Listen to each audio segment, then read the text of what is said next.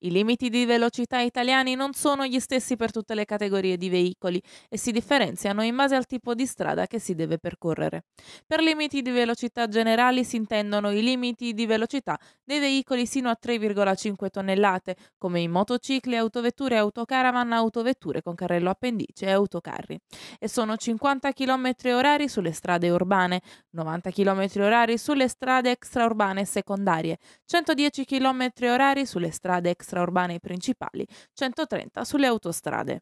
Per i veicoli pesanti, ossia gli autotreni e le autovetture che trainano rimorchi e caravan, i limiti di velocità sono ridotti e sono 50 km orari sulle strade urbane, 70 km orari sulle strade extraurbane secondarie, 70 km orari sulle strade extraurbane principali, 80 sulle autostrade. Esistono inoltre delle categorie di veicoli che hanno dei loro limiti massimi di velocità e sono le macchine agricole e macchine operatrici con pneumatici che vanno sino a 40 km orari, i ciclomotori sino a 45 km orari, i quadricicli a motore sino a 80.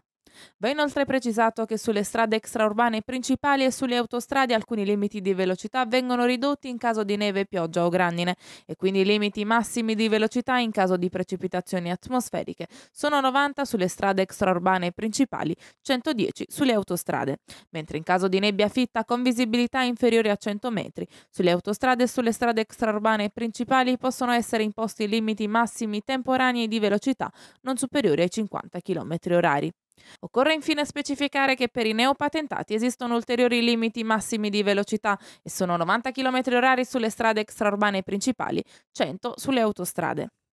I trasgressori di tali limiti incorreranno in una multa che andrà da un minimo di 41 euro ad un massimo di 3.287, con la decurtazione dalla patente sino a un massimo di 10 punti. Le violazioni commesse tra le 22 e le 7 del mattino sono aumentate di un terzo.